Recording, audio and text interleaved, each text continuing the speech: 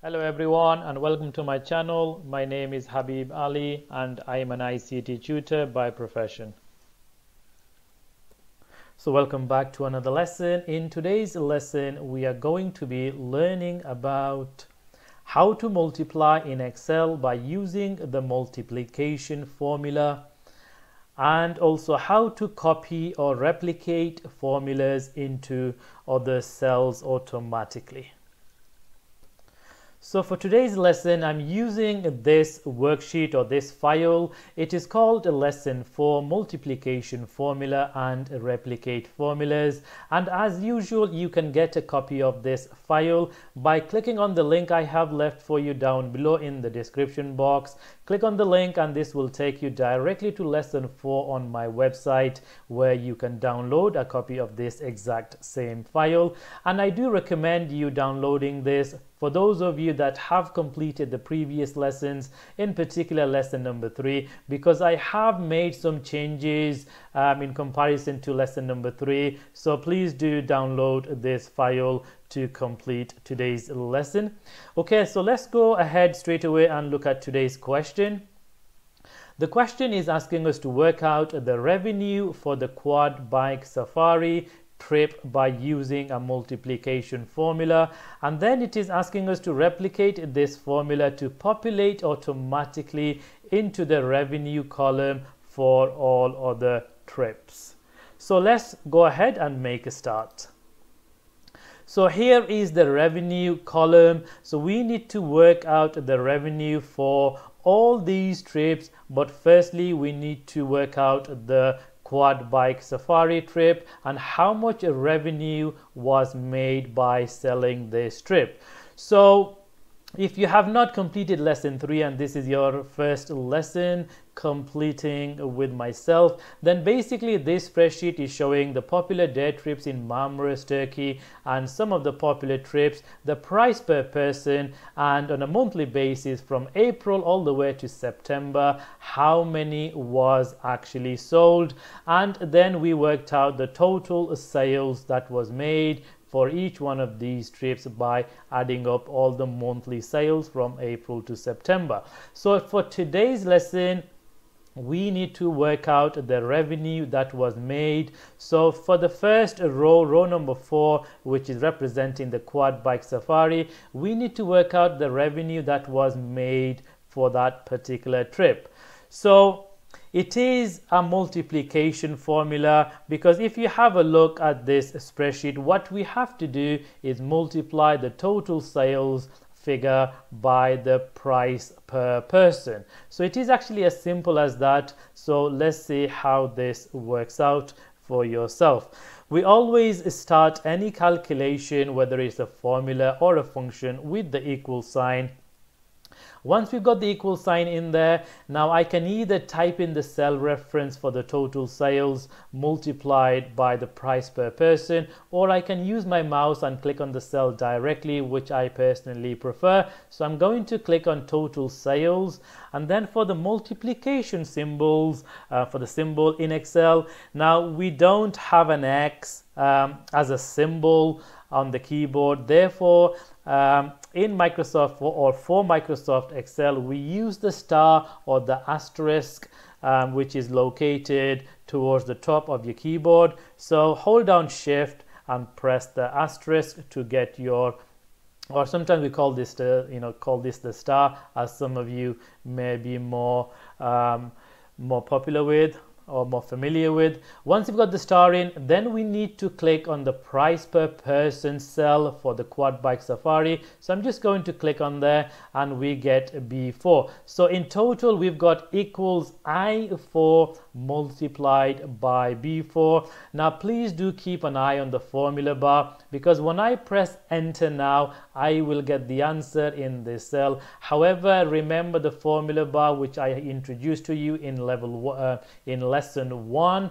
The formula bar will always display what you have actually typed in the cell. So please keep an eye on the formula bar. When I press enter there we go. So there's enter. This is how much revenue was made 10,875 pounds. But if you look in the formula bar the formula bar is still displaying the actual multiplication formula which I have typed in Okay, so that's the first part of today's lesson and also the question. The second question was asking us now to replicate or copy the copy this formula into the other cells to work out the revenue for every single other trip. Now to replicate a formula into other cells, there is a couple of ways you can do this and today I'm going to show you both ways.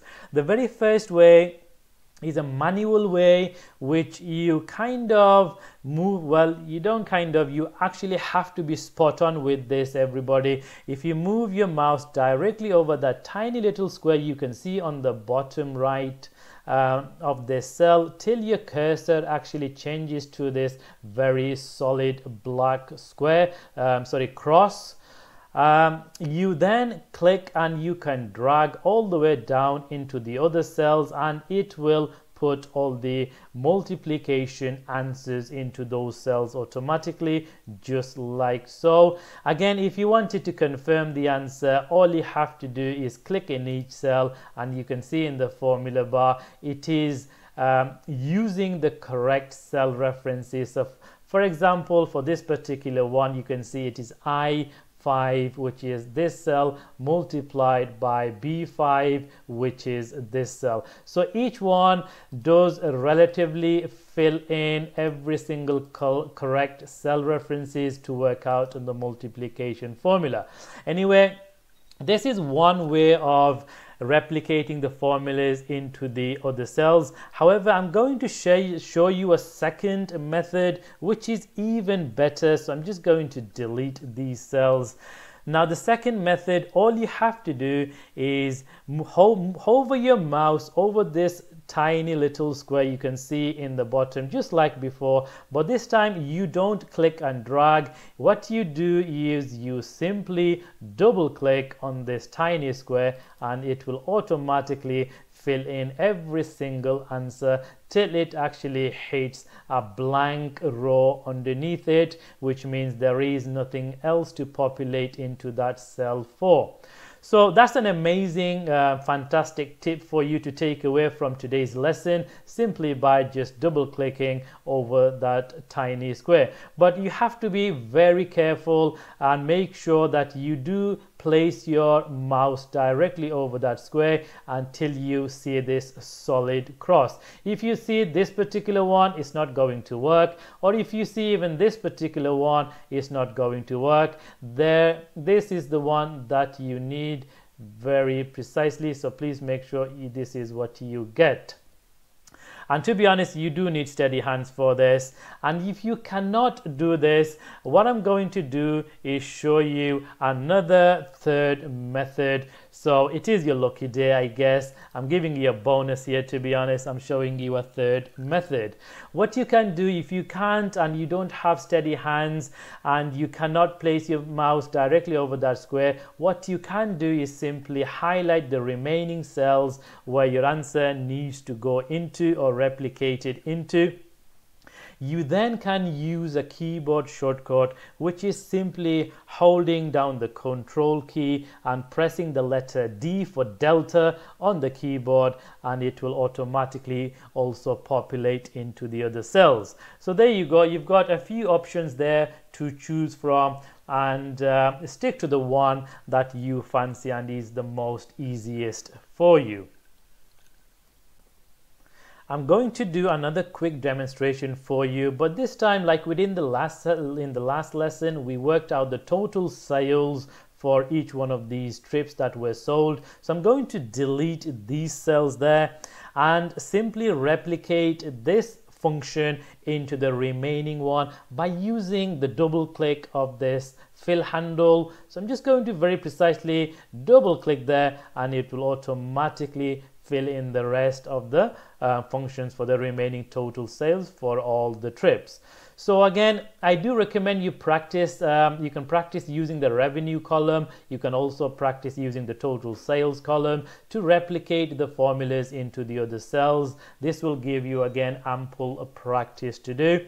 And finally, one more thing I just want to show you and kind of remind you as well that in Microsoft Excel, when we use calculations, whether it's a formula or a function, remember we always use cell references. So for example, for this particular revenue for the quad bike safari, I used I4 multiplied by B4 instead of using 435 multiplied by 25, simply because if we use cell references, every calculation or the cell references that we have used for, there will remain to be linked or are relationship is always maintained.